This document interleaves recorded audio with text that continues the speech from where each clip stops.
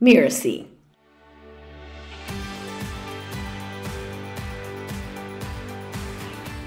Having a strong culture, you've got more productive teams, you're more profitable, you've got less turnover. But the really fascinating part to me was the number one reason why somebody said they would leave an organization is that they didn't feel connected to their coworkers. I'm Sharon Richmond, and this is To Lead is Human. For more than 30 years, I've run a business called Leading Large. I help C level executives have greater impact.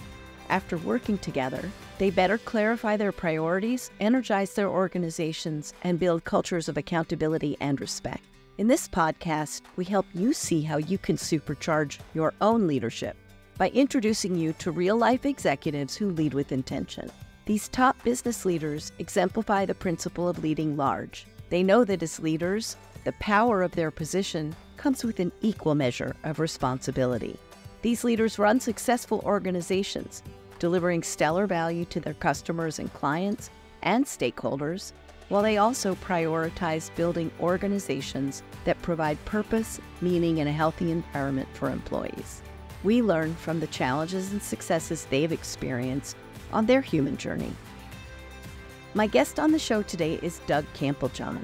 As you listen to our conversation, notice the differences and key similarities that Doug highlights between leading in a corporation versus a startup.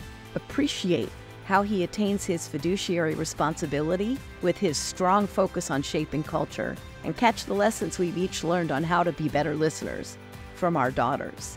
Doug is currently the founder and CEO of Airspeed, a platform that connects and celebrates employees digitally.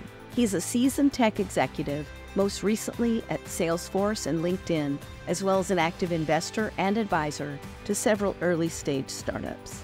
Doug holds degrees in engineering and business from Carnegie Mellon University, and he's especially passionate about leveraging technology to drive innovation and improve people's lives, and about the importance of culture in accelerating business growth. Doug's a frequent speaker at industry events and has been featured in publications from the Wall Street Journal and Forbes to TechCrunch. Welcome to the show, Doug. I'm so glad you're joining us today to share the challenges and insights you've gained along your leadership journey. Thank you, Sharon. Great to be here. Great. So, to start with, maybe let's walk through just some of the roles that you've had as you've gone through your leadership progression prior to founding Airspeed. Yeah, so I graduated from Carnegie Mellon and became a product manager at Apple. That was my first job which I didn't even know existed as a career path, you know, when I was in school. And it kind of spoke to me because it was kind of like the blend between sitting between engineering and the customer. I really fell in love with it. So I just got very lucky there. So I was at Apple working on a project called QuickTime and a lot of multimedia stuff. Joined a bunch of startups, some of which worked out, some of which didn't, and then started a couple of my own. And the last one was acquired by LinkedIn in 2015.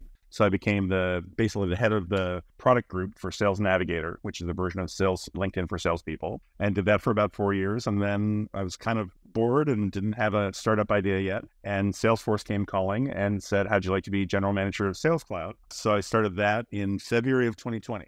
Ah, perfect timing. Yeah, perfect timing. So six weeks later, the world looked like this. We were all in line. And on the one hand, I loved it because I never want to go back to an office five days a week like ever again. But I miss people, and I all the stuff they were doing to try to feel connection. I found just wasn't really working. It was uh, scattered all over the place, and that's kind of where the idea for Airspeed came about. That's super. And so maybe let's think back over some of these roles and what were some of the leadership challenges that you faced that you think helped shape your leadership? Yeah. You know, I think that when you're a first time manager and early leader, it's easy to think that your job is to kind of control things. And I quickly learned it was the exact opposite of that, right? I mean, I think really great leaders are ones who have good spidey senses about bringing in the right people, make sure that they're fully armed to do a great job, and then basically get out of the way and then say, I'm here to support you. And that's kind of what I tell most people. So I do the culture presentation. I, I, take great pride in that. And I say culture isn't about words on a plaque or, you know, anything like that. It's kind of who you hire and who you fire and what values you embody in those people. And so what we do is everybody who comes into one of my companies, we literally put a meeting on the calendar 90 days out. And we say, we're going to make sure we're going to do everything to make you really successful in the first 90 days. But you kind of know whether someone is going to work out or not within 90 days. So we kind of give ourselves a deadline, say, hey, if it's not working out, we'll say goodbye. Yeah, that's great. So as the leader, let's think about maybe I'd love to break it into two parts. Like in the corporate environment, I know some of the executive challenges are a little different than when you get into the startup environment. Can you maybe talk a little bit about what your experiences have been like, how they differ? Yeah. Coming from a 30 person startup to LinkedIn, which was over 10,000 employees at the time, and still growing was a very interesting challenge. And I think that the biggest lesson, and LinkedIn's got great leadership. You know, Jeff Weiner, who was the CEO when I was there, and now Ryan Roslansky and others are just fantastic people to work with. And I was amazed at how conscientious they were about cascading communications. So what Jeff would do is he would say the vision and the mission never wavered, right? We repeat that all the time. We would talk about plans for the year. He would kind of start with his executive team, cascade it to his top 200 plus leaders. Every two weeks, we'd have an all hands meeting, cascade that way. It was a very deliberate process to repeat things so that people can understand. And I think that was really a great lesson for me in how do you scale organizations and make sure everybody's aligned sometimes I find executives are sort of reluctant to go to those kinds of meetings. Did you find that at all? No, you know, I think great leaders are vulnerable, are human, are not saying they've got all the answers, you know. In fact, Tomer Cohen, who runs product for LinkedIn, has one of the phrases I most love, which is, I may be wrong, but I'm not confused, right? I know Tomer from business school when I was teaching there. So, yeah, he's a fabulous guy. He's a great human. And I love that phrase because it's kind of how I feel, which is like, I'm going to have an opinion. And I know because I have the word CEO in my card, you may think that, that I'm just right, but I'm often wrong. So please tell me or present me with facts. But if not, that's the direction we're going to go. Yeah, I like that. Yeah, I think the biggest thing is there's just a lot more care and feeding to cascading communications to large companies. And I think we have to give the same amount of care and feeding and be as deliberate about cascading culture. You can't just assume people are going to run into each other in the cafe, the cafeteria anymore, or the coffee shop, or any of that stuff. You have to think about how do you onboard people successfully? How do you make sure they have a fantastic first week, first month, first 90 days? You have to make sure you're more deliberate about recognition, about getting people together. So all of those things are the things that we're, you know, I've tried to do in my companies, and now the software that we're building at Airspeed is kind of helping support that. And if we think for a few minutes about those listeners that are entrepreneurial and they're just building up their companies, maybe could you talk a little bit about what you noticed is different in leadership at the very beginning of a startup to the scaling stage to the expansion stage? Yeah, I think, as I said, culture is all about people. I often, someone told me once that the CEO's job is MVP, but it doesn't stand for most valuable player. It stands for money. Don't run out of it. Vision, make sure you have a strong one that everybody is aligned around, and people. And I kind of put those actually in reverse order. So there's kind of three tests that we have around hiring. We have what we call the awesome test. Because I've done this thing in the past where it's like, hey, everybody interviews the candidate and so you go thumbs up or thumbs down or scale of one to five. And people tend to be nice, right? They're like, oh, that person, yeah, I'm sure they could do the job.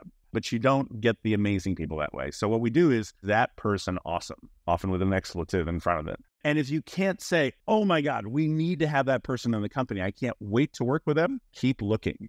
So that's one. Two is how do you make sure in the crazy environment of a startup that the great people are engaged and happy? So I just will randomly ask people when I see them, I said, Are you having fun? And I found people are really bad at lying about that, right? So if somebody's not having fun, their voice will go up an octave or they'll just pause and look up a little bit. And you're like, okay, something now is wrong. I've got to dig in. And then the last one is just, you know, you can't keep people who aren't performing. And this I just stole from Netflix, which is what they call the keeper test. And what you ask yourself is if anybody on your team said they were leaving tomorrow, would you fight to keep them? And if the answer is no, you should actually manage them out now. And if the answer is yes, you should figure out what you should give them. That would you be willing to give them to keep them and do that now? Yeah, I love your three tests. And in fact, I had a question for you about the having fun. So just recap for the listener if they missed the idea behind it. Why do you ask about fun? My view of work is that, you know, one is it's a significant chunk of our lives, right? As if you're just hating it every day, right? You know, you should be doing something that you're passionate about, right? You're passionate about the mission the company's on, you're passionate about the people you're working with. And if you've got smart people kind of aligned that are having fun and trust each other, like the organization just flows like butter. It's amazing when that all comes together. So if somebody is not having fun, something's wrong, right? They're not in the right role. We're not giving them the right tools. We're overloading them. Something needs to be adjusted, or maybe they're not the right fit. And fun doesn't mean like, oh, I'm playing ping pong every day and I'm working two hours a day. It means like, I really love what I'm learning. I'm passionate about this. And so that's why I asked the question. I love that as a strategy for quickly gauging kind of that employee satisfaction or employee engagement. And I think you're right. It's really hard to not tell the truth if someone asks you if you're having fun, because that's the kind of thing we usually only ask kids. And yet, so much of what we ask kids is so useful at the workplace, too. Like, do you feel like you belong here?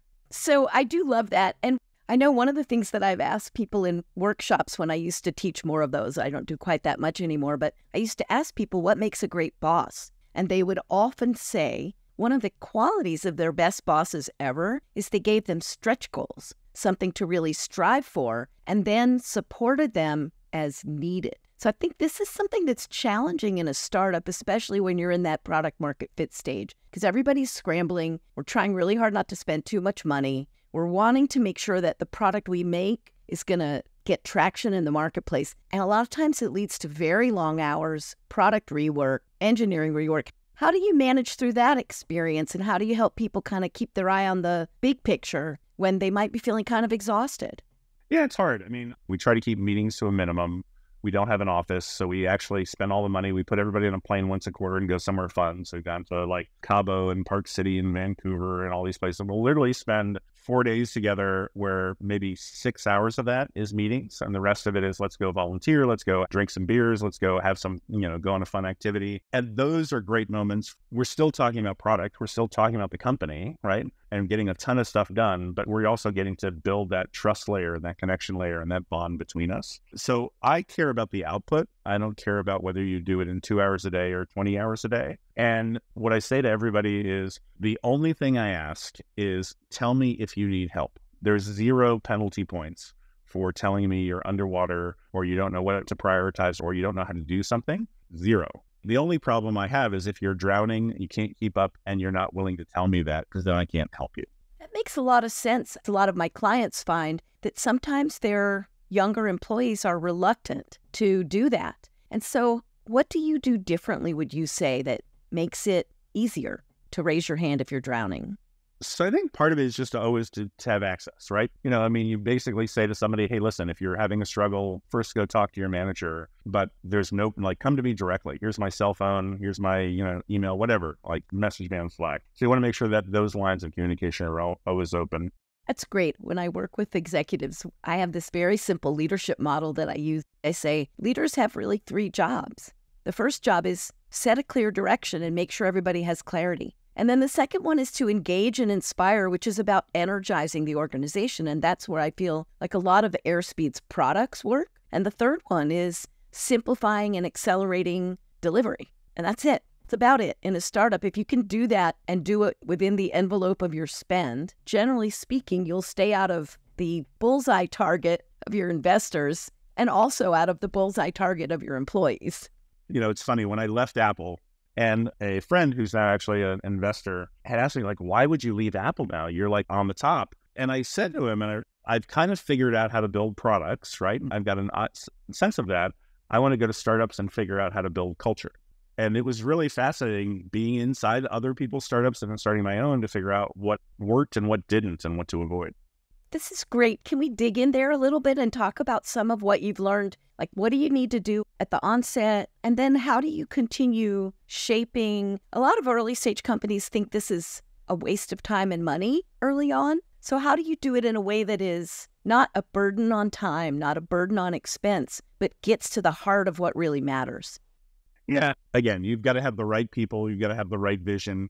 And I think that you also just need to like there are a lot of these like tiny moments that add up, right? Yeah. So for example, in my old companies, we used to hire somebody, we take them to lunch, and we had a set of like five questions, like what's your first concert, most embarrassing moments, something you, we'd be surprised to know about you, all this stuff, and it was great. It was like this great connecting moment. The problem was, a that person never knew what the other people's responses were. And B, anybody who wasn't at that lunch, including future hires, never heard that person's answers. So one of the apps we developed at Airspeed is just called Intros. Super simple. Ask the same questions. Somebody joins Slack. They immediately get a request to say, Welcome to the company. Here's some questions to answer. They get to go answer those. It's posted to everybody. They get to see everybody else's answer on their team and they get to know each other in a more efficient way. So that's an example of like how software can help something that we used to do in the real world. Yeah. And the company is entirely remote? We're remote. We're on five continents. We have no offices what we decided to do is say everybody's got a budget to go furnish their home office. Everybody's got a budget that if you want to go into a co-working space, you know, you need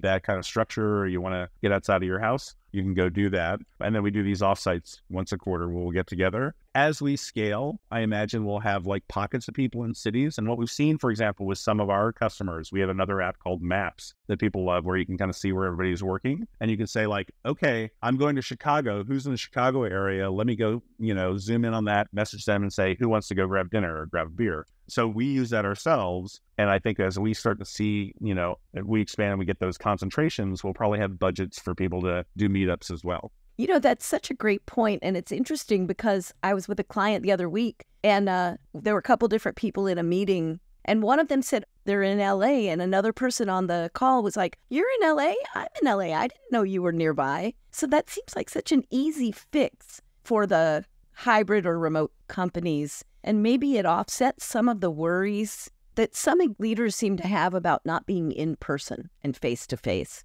Yeah. I mean, here's the thing I understand why legacy companies want people to come back to the office. They have done it that way. They are scared that employees are like not paying enough attention or might be doing side hustles. They're sitting on a lot of real estate, right? They're sitting on big leases that they're looking at on their balance sheet. Yeah. But I think, you know, the genie's out of the bottle. It's never going back, right? Employers' view of hybrid work is come into the office these three days a week. Employees' view of hybrid work is let me have the flexibility to decide when I come into the office, right? Give me a space. And the question I always ask is if we had never invented the office and we all worked like this by default, would we invent it and what would it look like? I guarantee you it would not be a set of cubicles where you come in and put in your headphones and jump on a Zoom call, right?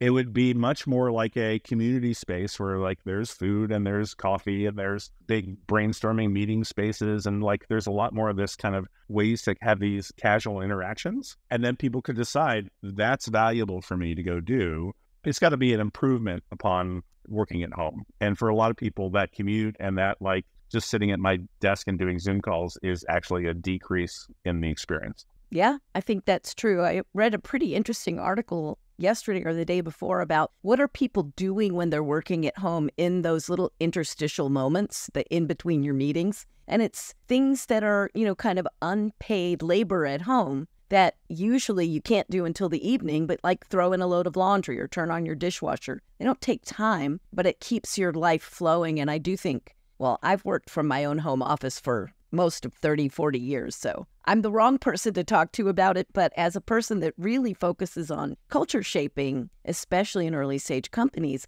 I know a lot of people really are concerned about what do they lose when they're not face to face. Well, I have not found in my experience that productivity drops in remote work, right? And I think in some ways it increases and you have more balanced, happy employees because they can do the things like you mentioned, like the little things around the house. Airspeed's got a suite of six apps. I mentioned two intros and maps, but they're all about these culture moments. It's really important to give recognition. Now, how do you structure that? So we oftentimes it may be something where I could give or someone on my team could give direct recognition, but they're like, you know what, it'd be even more effective if Doug did it. So they can write it all up and nominate me to give that recognition through the app. I can say to myself, you know what, I'd like to give out at least, you know, a shout out a week so I can give myself a goal and have a reminder coming to me in Slack to go do that. We have this Feel Good Fridays feature you can turn on and say, hey, now's a great moment today. Let's just like recognize the people on the team. So there's these kind of things that just help you do what's right. We have a Icebreakers app. I get an automatic notification in Slack the day before. I use the same question, but you can choose any of them and use AI to even generate other ones. So I spend five or 10 minutes in the beginning of the meeting and I suddenly know what's going on in people's lives. I get to see their kids, I get to see their dogs, their new house, anything they're doing. And it's just a great way for us to get to know each other on a personal level. We have celebrations, which a lot of times now people have these digital kudo board cards that are like chasing people around and saying like sign someone's you know work anniversary card. We put that all on autopilot. So anytime you've got a work anniversary or a birthday, you can just kind of automatically route that in Slack. Everybody writes it, and it's all just delivered on the final date. And then the last one we did is called Coffee Talk. And it's really the idea of, again, came out of my experience at Salesforce, where I had this 60, 70 person team, most of whom I didn't meet on a regular basis. And so I just wanted to say, can you just schedule for me? I'll block some time off on my calendar, schedule for me regular meetups of these people I don't meet with in my regular meetings. And so Coffee Talk takes care of all of that. Yeah. And you just say, here's the kind of people I want to meet. Here's what I want to talk about. Here's how often I want to meet and what my availability is, and takes care of the rest. And does it have like a randomizer in it just for that synchronicity of meeting people that you didn't think you might want to know? It does. It does. Yeah. So you can be totally random about it, or you can be more deliberate. Like, I just want to meet with people in the customer support department, for example. So you've worked with a, quite a few very financially successful organizations. And I know, and you have been today, a very vocal advocate for culture as a key driver of company success. Like for people that wonder if that's really true, what are some examples, some concrete things you could offer? I have a client who says he likes to hold things in his hand. Like, what's something concrete that you could tell our listeners to help them understand what you've learned about why culture drives business success? Well, you know, we actually interviewed or had a third party interview about 1,600 folks, 800 kind of leaders and 800 individual contributors. And the stats were amazing. It was really one of these things where having a strong culture, having an engaged team, you've got more productive teams, you're more profitable, you've got less turnover. But the really fascinating part to me was the number one reason why somebody said they would leave an organization is that they didn't feel connected to their coworkers. So if you think about the cost of turnover, the cost of hiring, you know, that's the number one thing. And as I said, a lot of people took it for granted. I mean, there's different levels of leadership and people who just did it well naturally. But I think we have to be a lot more deliberate about it going forward in this new environment. So earlier you mentioned how important it is for vulnerability in leadership. And to me, I think one of the most valuable parts of our conversation today for a lot of our listeners is to explore a little bit some of your important moments of vulnerability and growing. And I wonder if you could share a story or two about some of the growing pains and what did you need to learn about yourself and what did you do differently after? Yeah, I mean, you know, one of the most painful early things in my career was I was working at a company called E.piphany. And I'd actually introduced them to the firm Kleiner Perkins to go do their round. The Kleiner brought in their own CEO, and the CEO basically fired a bunch of the executive team, including me. And it was the first time I'd been fired in my life. I was devastated. I complete loss, crisis of confidence. It took a while to go. Like I went off and consulted for a while, and then finally, like that turned into me starting my first company. And so I think it's one of those things where you know we grow through challenges, and that's where all the growth happens. If life was just easy, it would be boring, and you know we would just be at a plateau of where we are as humans. But I also think that one of the reasons we ask questions like what's the most embarrassing moment is being able to say like i'm a human being i make mistakes. So i openly tell these stories about getting fired right? Although some people would be like it's too embarrassing to do that. I openly tell stories about like i screwed this up. I'm very open to saying i don't know but i'll find out or that's a great idea. So i think it's really important to do that. I think just you know being vulnerable about your own foibles is really actually a strength yeah that's really great point. and I know you're a big proponent of sharing feedback as well. So, in the spirit of vulnerability, what's the toughest feedback you've received as a leader and how did you respond to it? Good question.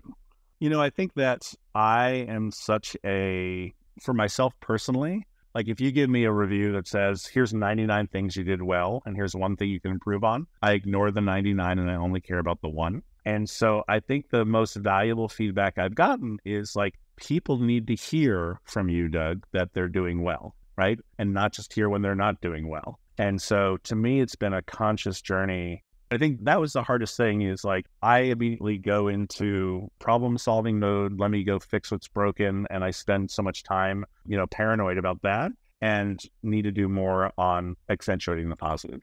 It seems very common for a lot of early stage executives, I think, because we're always looking for what's the existential threat that's just around the next corner? And there are so many that it can be hard to remember that. Yeah, you know, I'll give credit to my youngest daughter. A few years ago, she said, You know, dad, you always try to solve the problem when I bring you something. And she goes, There's actually three things that you should think about. You should ask me, Do you want me to solve this? Do you want me to just listen? Or do you want me to distract you? Right. And I think that actually applies in the business world as well. Sometimes people just want to dump stuff and release stuff. And you have to say, How would you like me to help? This is such a, you know, my daughter said the same exact thing to me. And she still does. She's like, Mom, I don't need you to solve the problem. I want you to listen. I'm like, okay, but then what? And she's like, then acknowledge what I'm feeling. I'm like, okay, what does that solve? I feel heard. And I'm like, oh, genius. So, yeah, it's at home and it's certainly the same at work. I don't think it's different at all. So, what would you say is your current learning edge as a leader? What are you working on these days? What you think you might need to further improve in your leadership? Yeah, it's a great question. I think that scaling is going to be a big thing for me. Like I've done the, you know, zero to 30, zero to 70 kind of thing. I think we're on a path for getting much bigger than that and being a really successful, hopefully public company one day. And I think that there's going to be those stages that we go through that are going to be challenging for me. And I think that many entrepreneurs like go to d- these different levels and they're, they're like, I'm not good beyond that. I mean, Reid Hoffman, who started LinkedIn or was a co-founder of LinkedIn, took that to like $80 million. And then he's like, you know what? I'm not a good operational executive. I'm like a product guy. And he eventually brought in Jeff, who took it to an $8 billion company. So that was a really good decision. Yeah, they're two really exceptional leaders. I have to agree with you on that. In my coaching practice, I focus a lot on helping executives go through this scaling stage, usually after product market fit feels pretty confirmed. So, just given what you've seen over the different startups you've been in, what do you think your leadership challenges will be at your scaling stage here? Yeah, I had the good fortune years ago to meet the legend Bill Campbell. And to me, Bill is such a great example of somebody who is really helping people move forward. That's what I aspire to because I think that an early stage startup, I love products. I love user interface design. I tend to spend a lot of my time doing that. And as we scale, I think I've got to let my hands off that wheel more and just spend time on the kind of Bill Campbell stuff. Thank you for that. The title of the podcast, as you know, is To Lead is Human. And I love to uh, ask folks, what does this mean to you, Doug? I think I love the title of the podcast, by the way. Thank you. I think great leaders are not somebody who is up on a pedestal. To me, leading is basically being human yourself and recognizing the humanity in others. Well, I want to keep talking for a long time. I feel like there's so much more we could talk about, and there's so much more wisdom that we could pick your brain for. But out of respect for your time, I think we'll begin to wrap up. Just thinking back over the course of our conversation, do you have any kind of a particular reflection or thing you'd like to maybe share with our listeners as they're trying to figure out how do I become more successful and build this human centered place? Yeah, I think again, just be yourself. And like, I think the leaders who try to fake the like, hey, I've got this shit all under control. And it happens a lot sometimes with, with younger leaders and first time leaders where you're just like, my job is to like give everybody tasks to do, or my job is to, you know, show that they can rely on me and nothing's going to go wrong. Just be human, right? I think really come in and listen and pay attention and really try to remove obstacles for your people. Like everybody's kind of focused on getting their stuff done. So the best thing you can do as a leader is to say, I'm going to make your life easier. Definitely true. Well, I really, really appreciate you coming on today. It's a joy to meet you, and it's been a really fun conversation for me. And I hope it's been insightful and inspiring for our listeners and that you gained something from it as well. So thanks for being here today. Thank you. And I'm going to imagine that people might want to find out more about you, where you are, what you're doing. What's the best way for listeners to stay up to date with you? Yeah, so they go to getairspeed.com. We've got a newsletter and a website for all of that, but I'm an open book. So if you want to email me directly, I'm just the letter D at getairspeed.com. Ah, that's fabulous. Okay, Doug. Well, thank you so much for being here today. We really are very fortunate. Thank you. Please stay with us for a moment, and I'll share some takeaways and a coaching tip to help you uplevel your own leadership starting right away.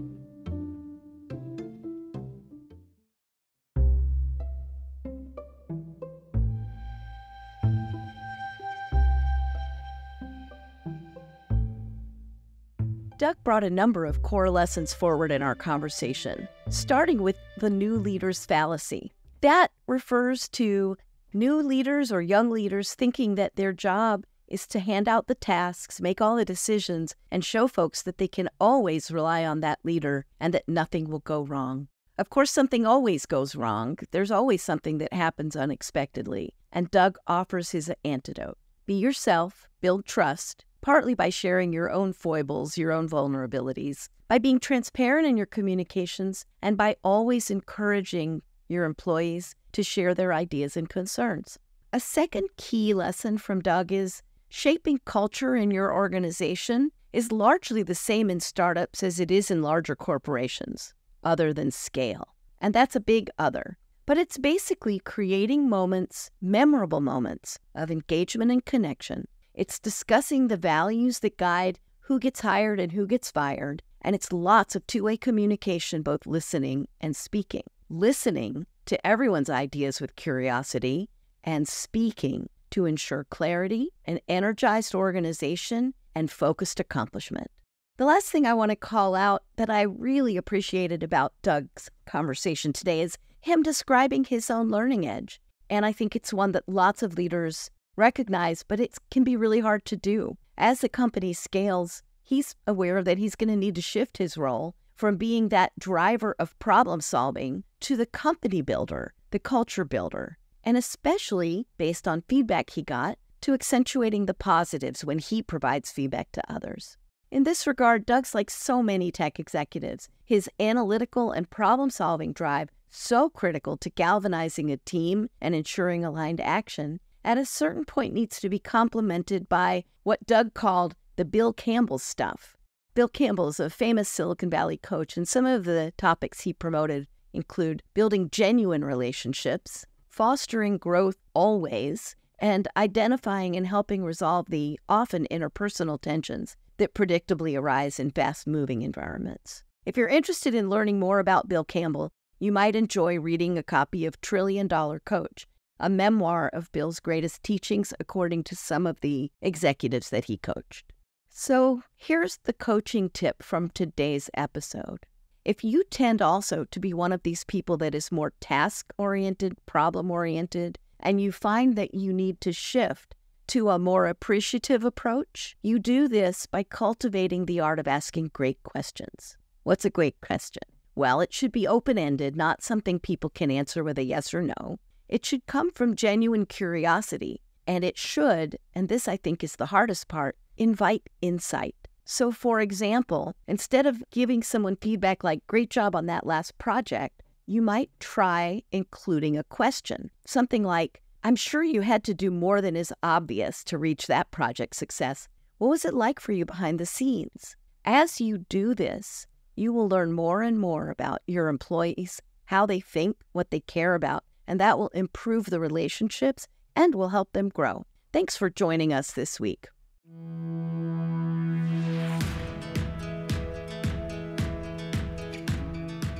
I'm Sharon Richmond, and this has been To Lead is Human. You can find out more about me at leadinglarge.com. That's L E A D I N G, large.com. To Lead is Human is part of the Mirasee FM podcast network, which also includes such shows as Making It and Soul Savvy Business. This episode was produced by Cynthia Lamb. Melissa Deal assembled the episode, and Marvin Del Rosario was the audio editor. Danny Iny is our executive producer. If you learned something today, make sure you don't miss upcoming episodes by following us on Mirasee FM's new YouTube channel or on your favorite podcast player. If you did find something valuable, take a minute and leave us a starred review and spread the word to your colleagues as well. The more leaders we can reach, the better we will all be able to lead with full humanity. Thanks so much for listening, and I'll see you next time on To Lead is Human.